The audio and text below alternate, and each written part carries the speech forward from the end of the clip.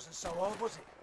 Now go and sit in the corner. So, Gaz, we've got to reach that house before anything happens to the informant. Let's go.